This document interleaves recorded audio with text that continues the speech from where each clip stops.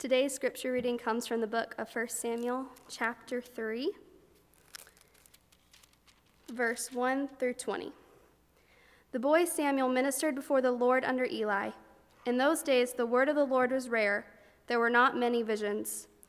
One night, Eli, whose eyes were becoming so weak that he could barely see, was lying down in his usual place. The lamp of God had not yet gone out, and Samuel was lying down in the house of the Lord, where the ark of the God was. Then the Lord called Samuel. Samuel answered, Here I am. And he ran to Eli and said, Here I am. You called me. But Eli said, I did not call. Go back and lie down. So he went and lay down. Again, the Lord called Samuel. And Samuel got up and went to Eli and said, Here I am. You called me. My son, Eli said, I did not call. Go back and lie down. Now Samuel did not yet know the Lord. The word of the Lord had not yet been revealed to him. A third time the Lord called Samuel, and Samuel got up and went to Eli and said, Here I am. You called me. Then Eli realized that the Lord was calling the boy. So Eli told Samuel, Go and lie down, and if he calls you, say, Speak, Lord, for your servant is listening. So Samuel went and lay down in his place. The Lord came and stood there, calling as at the other, na- other times, Samuel, Samuel. Then the Lord said, Speak, for your servant is listening. And the Lord said to Samuel, See, I am about to do something in Israel that will make the ears of everyone who hears it about tingle. At that time, I will carry out against Eli everything I spoke against his family, from beginning to end. For I told him that I would judge his family forever because of the sin he knew about. His sons blasphemed God, and he failed to restrain them. Therefore, I swore to the house of Eli the guilt of Eli's house will never be atoned for by sacrifice or offering. Samuel lay down until morning and then opened the doors of the house of the Lord. He was afraid to tell Eli the vision, but Eli called to him and said, Samuel, my son. Samuel answered, Here I am. What was it he said to you? Eli asked. Do not hide it from me. May God deal with you, be it ever so severely, if you hide from me anything he told you. So Samuel told him everything, hiding nothing from him. Then Eli said, He is the Lord. Let him do what is good in his eyes. The Lord was with Samuel as he grew up, and he let none of Samuel's words fall to the ground. And all Israel from Dan to Beersheba recognized that Samuel was attested as a prophet of the Lord. The Lord continued to appear at Shiloh, and there he revealed himself to Samuel through his word. And Samuel's word came to all Israel. The word of God for the people of God.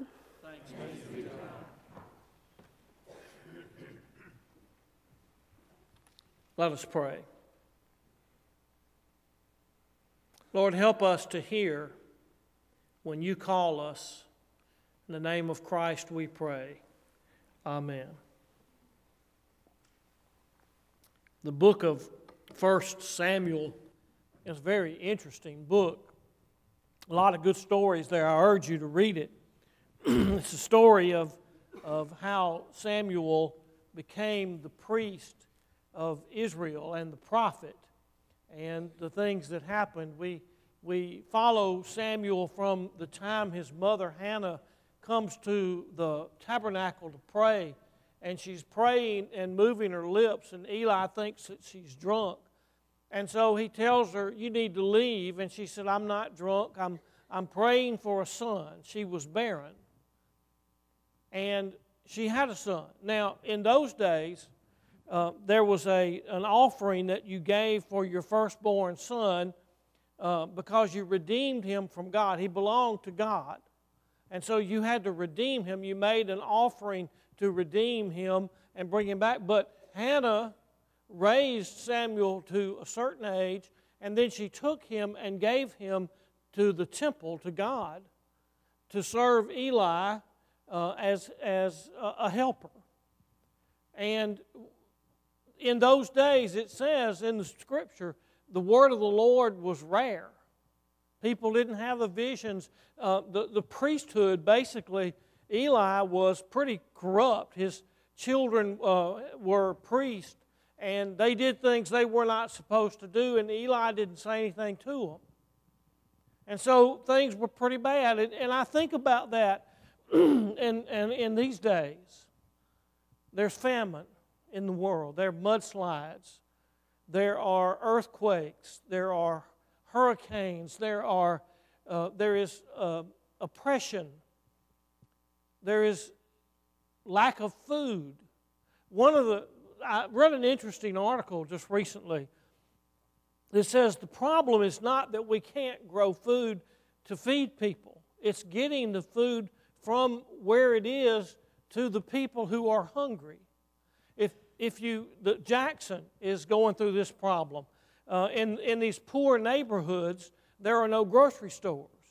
And so these people who are least able have to, to somehow get to the grocery store across town to come home with their groceries.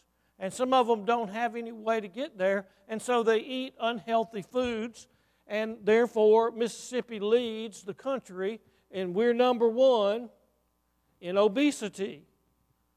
And I'm doing my part. Where's Jamie? He, he was. Yeah. We're, we're doing our part, aren't we? Yeah. Uh, so I, I think about all of these things that are happening, and, and, and I wonder, you know, is the word of the Lord rare in these days? Samuel was laying in, in the temple uh, getting ready to go to sleep, and, and Eli was so old he could barely see anymore. And he called, uh, the, the Lord called Samuel. And Samuel thought it was Eli. And so, so three times he went to Eli, thinking that, that Eli had called him.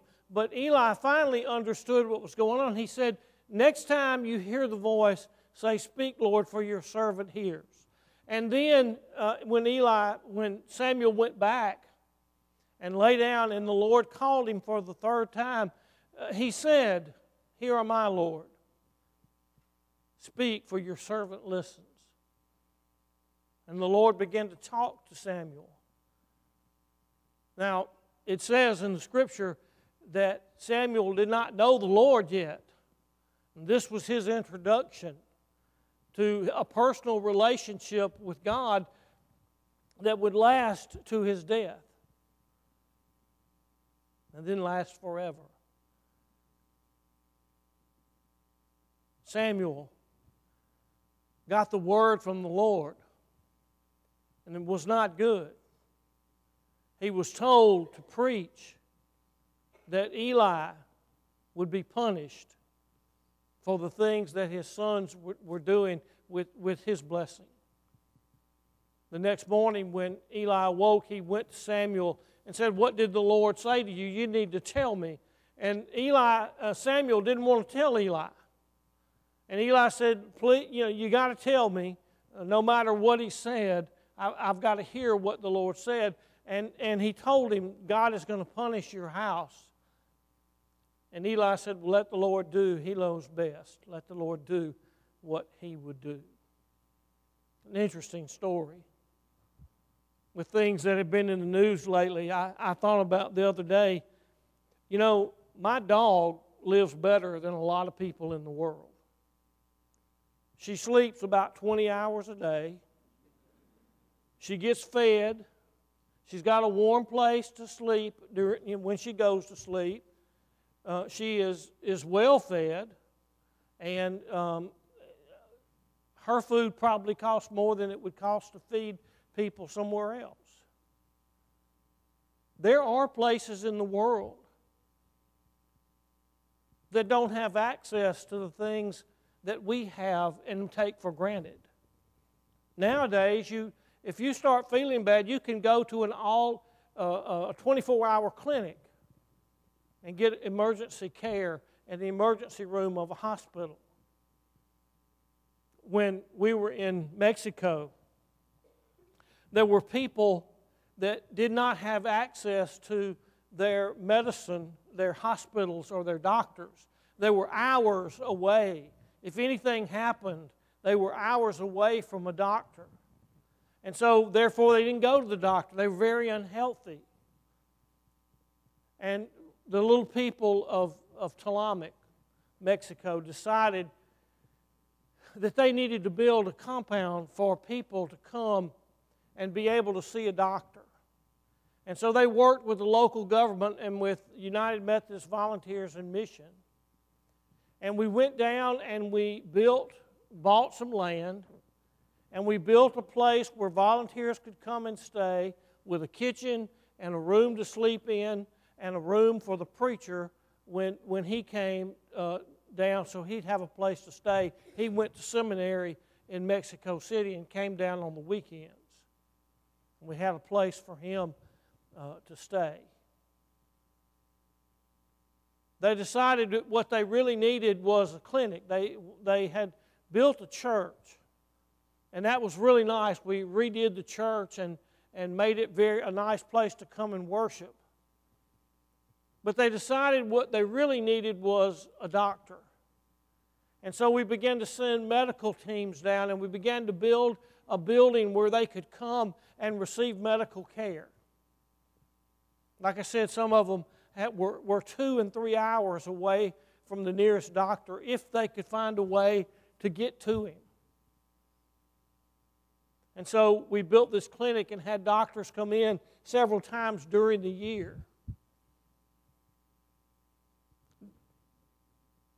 One day we were leaving, I'm getting ready to leave, and had loaded up the bus, and the nurses were standing outside. My job was logistics. I got them there. And, and I st- sat there and, and, and, and talked to people uh, as best I could with what little Spanish I had. My job was to get them there, and that's, that's what I did. And, and the, the doctors and nurses took care of all the other stuff. And so we were getting ready to leave, and this couple walks up. And the, the, the little, little wife, probably about 16 or 17 years old, was holding a little baby. And they couldn't, they didn't speak Spanish. They were Indians from the hills that were around Tulamic.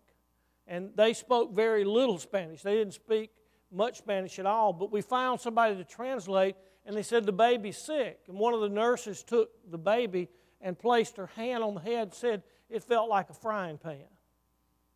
And so she took the baby immediately into the clinic and began to, to wipe it down with, with, with alcohol to, to cool it off, and, and, and they gave it uh, Tylenol um, so that to bring the fever down. So we stayed an extra couple of hours until we got to the point where the baby was stabilized. That's emergency care for these people that had none. Someone heard the call to go and found a clinic. There was a doctor now that is assigned from the government to come and stay, to, to be there in, in the clinic a couple of times a week. So now they have access to medical care that, which is a good thing in that farming community. Someone heard the call of Jesus and answered, and a little child who probably would have died was saved.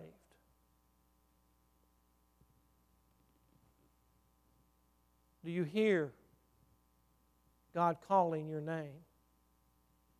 Do you hear in this time of conflict and upheaval, terrorism, and, and uh, all these things that are going on in the world.